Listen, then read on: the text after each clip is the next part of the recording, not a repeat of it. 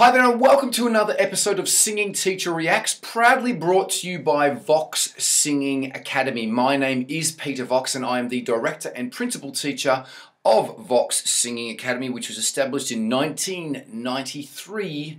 If we could help you or someone that you know with their singing, we'd be absolutely honored. We do face to face private in studio singing lessons at our six studios here in beautiful Melbourne, Australia. We also do online singing lessons worldwide, seven days a week. If face to face singing lessons aren't your cup of tea, we also do have the ultimate online singing course. For more deets, check out the links below. If you like this channel, please click, give us a thumbs up. Please subscribe and click to keep up with fantastic um, updates. We just don't do um, uh, react videos. We also uh, run podcasts. I also do tips and hints to do with singing. So please uh, click like and subscribe. Keep up with all the great info, the free info that we're giving out here as well too. If you want me to react to a video, please put it in the comments and please put a link to the video that you want me to react to. And if we get enough uh, of that one particular video or artist, I will do a video for you guys. Without any further ado, let's get stuck into the next video. So this has been requested by a few people, particularly Tristan Lang. So this one's dedicated to Tristan Lang out there. Um, so a few people have wanted this, one of my reaction to it. So without any further ado, let's get stuck into it. And this is Misery Business by Paramore MTV Unplugged. I don't know what year this was done. I don't know. I've just received the link, haven't seen it, watched it, done anything like that. I really like Paramore. I've really uh, followed them all the way through their career. Their latter career is a bit more poppier um, than their sort of more rockier stuff earlier on. But I really like the progression they've um, they've gone through and, and, where they've progressed to. So I think it's I think it's great. Um, this girl has got a great voice. Never seen her live. This is the first time that I've ever seen her live.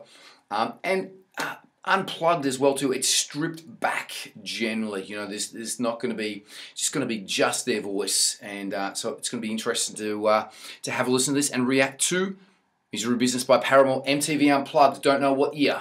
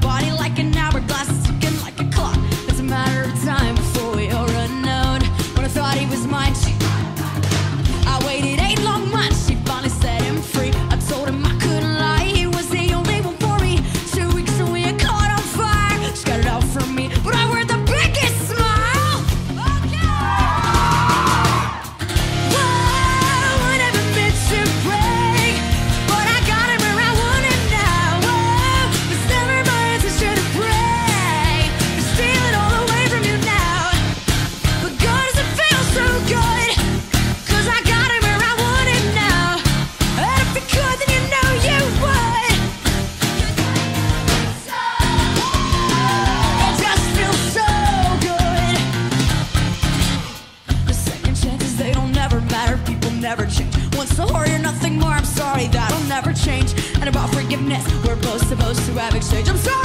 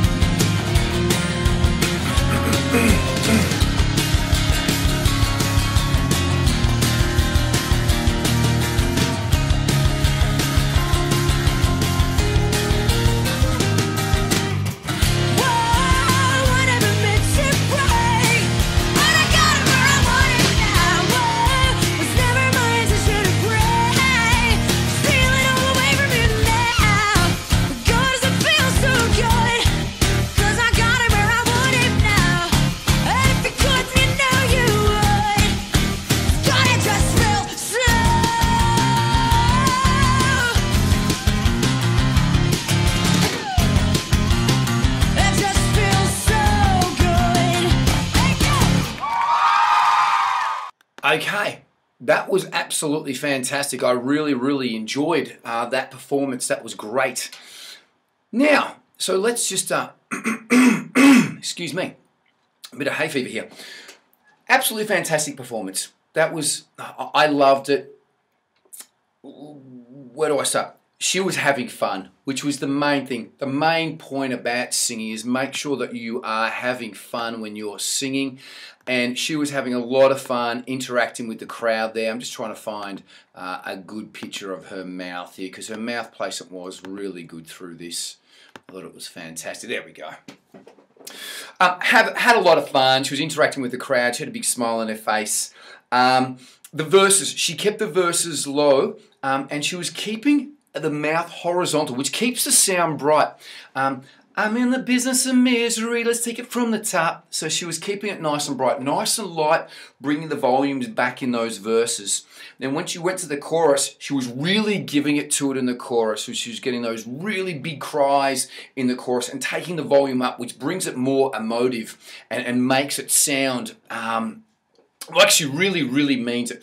She's got a great range, a lot of power, this girl, and she doesn't mind using it. She was she wasn't holding back. She was leaving everything, leaving nothing on the table here. So she was having a lot of fun. Her breathing was immaculate through this song. Uh, sounded nearly exactly the way that the recorded version was. So she wasn't leaving anything out. She was sustaining everything for the the, the amount of times that recordings are. Um, and it was great to hear her voice. pardon me stripped back in this fashion. It was absolutely great. There was no backing vocals on this. I could see that the backing vocals to her um, right hand side, the guy to my left, he had a microphone, but there was no backing vocals done by him for this particular song. So it was just her by herself um, no other tracks, and she held it up and she, she cut it very, very well.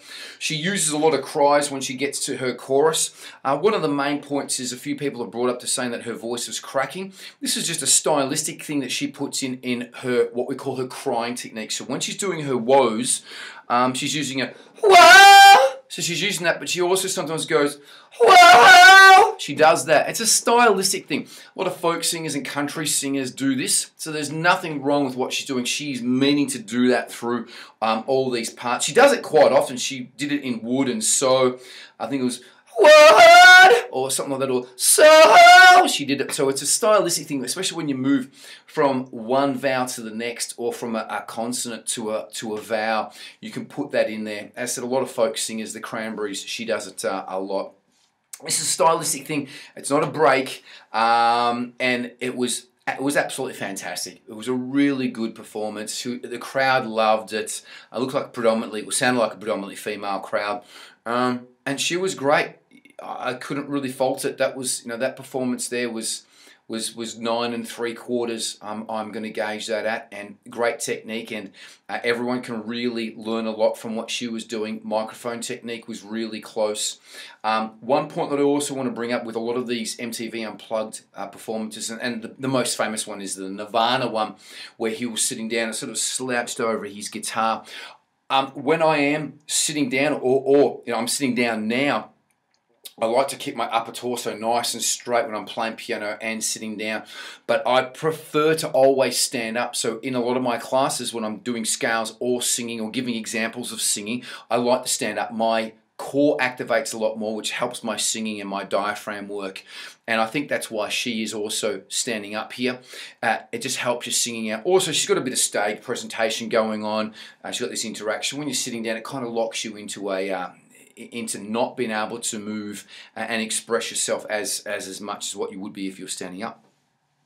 That pretty much sums it up for me. Hope that you like that short, sharp, sweet, uh, and that's what her vocal performance was like here. Uh, but her vocal performance was amazing, precise, great. No auto tune here, straight live. The band was tight as hell. The guitarists were amazing. Um, that's it, over and out for me. Hope that you enjoyed it. Please, if you like this, thumbs up, subscribe, keep up with the great content that we're putting out here. If you know someone or you want singing lessons, we'd be absolutely friggin' honored. Check out the links below. Private singing lessons in our Melbourne studios, also around the world, seven days a week via Skype and Zoom. If you don't want that, we also have the Ultimate Online Singing course, guys. Check out the links below for more info. But most importantly, enjoy your music, enjoy your singing. Say hi to your mum for me, but most importantly, be good to everyone. Peace and love until the next React video. Bye bye.